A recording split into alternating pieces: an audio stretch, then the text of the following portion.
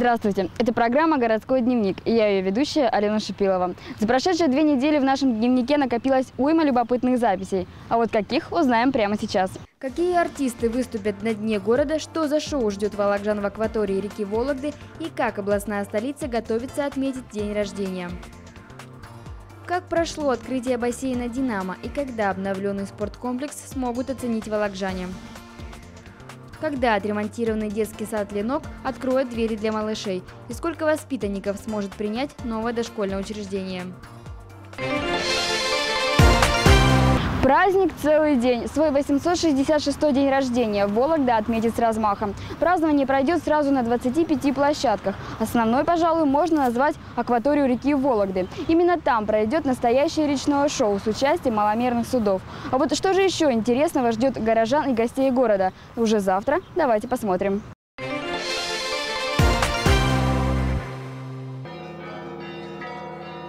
Концерт колокольной музыки и два праздничных салюта ожидают вологжан и гостей города в эту субботу. Подарком станет и выступление сразу двух столичных музыкальных команд. Первая – это а, группа «Белый день». Она немножко фольклорная, традиционная, с а, такими с приятными народными э, композициями. И вторая группа «Инь-Янь». Ну, в общем-то, тоже, наверное, все знаете, которая у нас идет под э, кураторством руководством э, Константина Меладзе. Вот к нам приедут ребята из этой группы будут нас радовать своим исполнительским выступлением. Впервые в Вологде пройдет фестиваль регионального народного творчества «Хоровод Севера». 300 человек из разных уголков Вологодчины замкнут круг и отправятся на Кремлевскую площадь. В эту же субботу состоится фестиваль рыбацкой кухни. А чтобы настроение у всех было исключительно праздничное, в городской администрации приняли решение. В свободной продаже должны быть мороженое, квас, вода и соки, а вот алкоголь, что называется на вынос, кафе и магазины попросили не продавать. То есть у себя внутри помещения, пожалуйста, а на вынос тем более, если в стеклянной таре, то как бы, по, по требованию сотрудников УВД мы направили все обращения.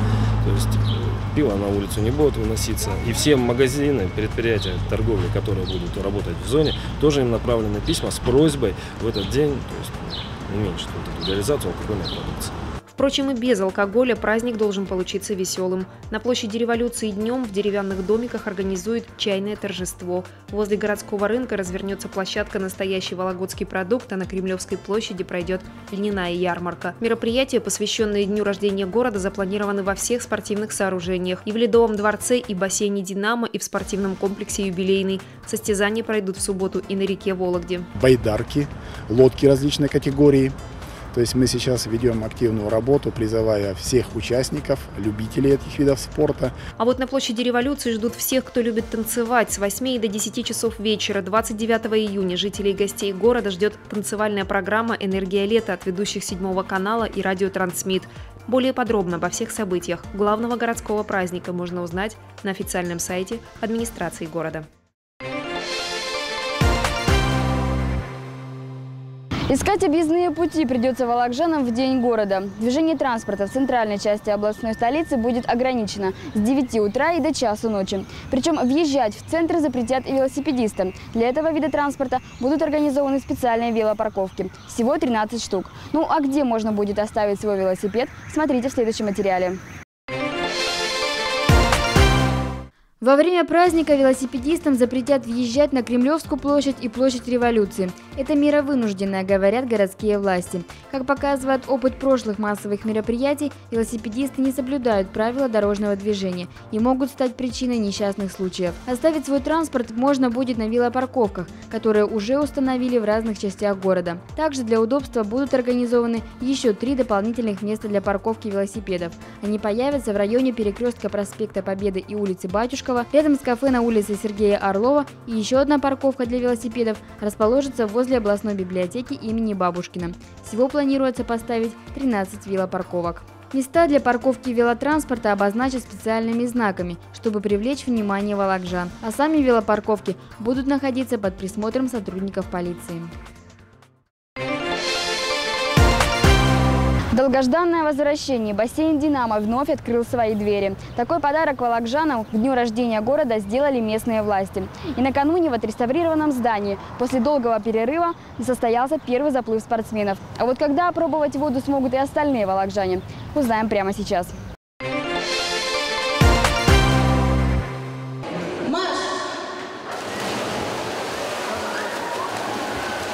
Отсчет времени на табло пошел, и можно сказать, у спорткомплекса «Динамо» началась новая жизнь. На открытии обновленного бассейна собрались десятки человек, представители общественности, первые лица города и области.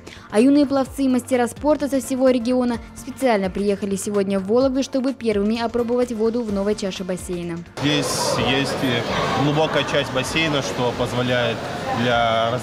более раз... ну, разнообразить, разнообразить свою тренировку. Но вода значительно чище стала здесь. Хлорки чувствуется, что ее даже практически нету.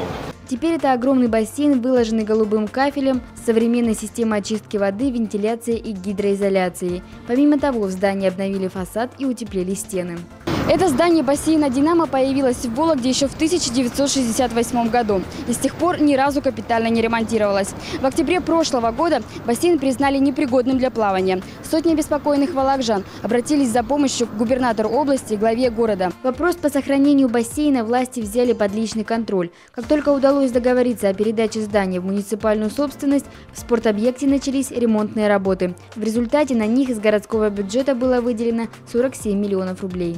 То, что я видел сейчас, меня просто поразило. От кровли до э, инженерных коммуникаций практически все было вынесено и занесено новое высокотехнологичное оборудование, э, современный стандарт, соответствующий современным СНИПам. Поэтому я благодарен э, Евгению Борисовичу вам э, и от Волокжан, и от себя лично. Я считаю, что наши совместные усилия принесли, ну, дали максимальный эффект. Это еще один из объектов, который реально украсит город. Он не только функционален, но он и красив на самом-то деле. Конечно, мы этим гордимся. Это нам удалось. Э, Причем в кратчайшие сроки. Строители не подвели, очень ответственно подошли. Теперь в отреставрированном спорткомплексе могут заниматься до тысячи человек в день. А новые условия помогут вырастить новых спортсменов-пловцов, уверены городские власти. Уже с 1 сентября в «Динамо» начнутся занятия первого в городе детского отделения плавания. Отделение плавания у нас войдет в порядке 100 человек. То есть эта занятость бассейна будет, в общем-то, в основном из э, учебных групп детской спортивной школы. Ну а главным новшеством в этом спорткомплексе можно назвать малую чашу бассейна, где теперь могут заниматься дети от трех лет и люди с ограниченными возможностями. Это жизненно важный момент. Я считаю, что каждый человек, рожденный на э, этом свете, он обязательно должен уметь плавать. И решать эту задачу теперь будет гораздо проще. Спорткомплекс будет работать почти круглые сутки с 5 утра и до 11 вечера. Точный график сейчас составляется. Еще одно открытие минувшей недели. Долгожданное событие для родителей и их малышей. Детский сад «Ленок» на улице Предельщиков готов принимать маленьких посетителей. В новом дошкольном учреждении смогут заниматься более 300 малышей. А подробности смотрите в нашем следующем сюжете.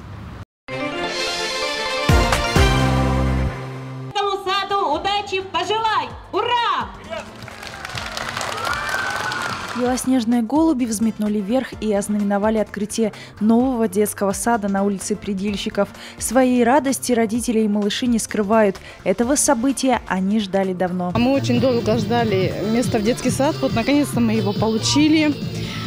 Здесь очень, как сказать, замечательные воспитатели, хорошие педагоги. Вообще сам детский сад очень современный, уютный, красивый. Насколько современным и, главное, комфортным для малышей получился детский сад, проверил и глава города Евгений Шулепов. Именно он выступил за то, чтобы использовать бывшее здание дошкольного учреждения по прямому назначению. Ленок стал шестым детским садом, который открыли в Вологде за последние пять лет. Его начали ремонтировать в январе, и буквально за полгода подрядчики полностью реконструировали здание. В нем поменяли всю сантехнику, электрооборудование, систему отопления. Все преобразования соответствуют требованиям. Цена вопроса около 50 миллионов рублей. Зато теперь руководство сада гордится современными прачечной, пищевым блоком, актовым залом и, конечно, уютными группами. Детский сад рассчитан на 320 мест. И дети уже начали посещать детский сад, уже две недели деток мы принимаем. У нас будут детки с полутора до двух лет и с двух до трех лет весь детский сад.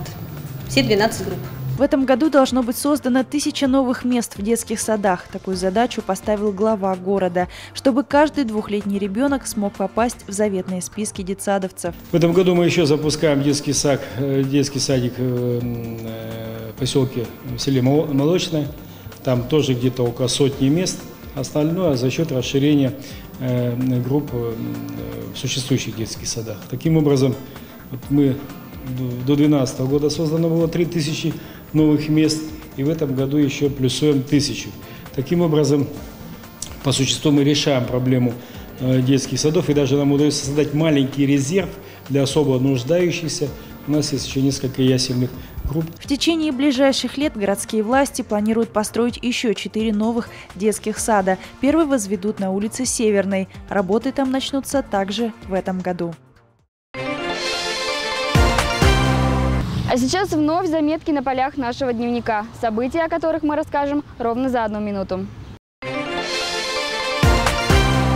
Самых активных участников общегородского субботника наградил глава города. Победители определяли по трем номинациям. Самый активный ТОС, самый маленький участник субботника, а также самое лучшее освещение в СМИ. Так, лучшей среди юных участников субботника стала трехлетняя Анна Гринчук. За трудолюбие юная вологжанка получила велосипед. Добавим, на уборку областного центра вышли более 20 тысяч жителей города. Их усилиями было вывезено более тысячи тонн мусора. Под мелодии молодости пожилых вологжан приглашают на танцплощадку, которая работает возле центра «Забота». Ее открыли по инициативе главы города Евгения Шулепова. И теперь музыкальные вечера для вологодских пенсионеров проходят каждую третью пятницу месяца. В 17 часов возле центра «Забота» могут собраться все желающие, а лучший танцор получит приз. Кованые голуби вновь появились на скамье возле памятника Пушкину. Такой необычный подарок к Дню города подготовили в одной из кузнечных мастерских Вологды. В этой композиции голубь прикрывает крылом свою голубку. Птиц вырезали по фотографиям. Пару лет назад похожие кованые фигуры украли неизвестные. Мастера надеются, что в этот раз они никому не помешают. А на этом у меня все. Я желаю вам удачных выходных. Пока-пока.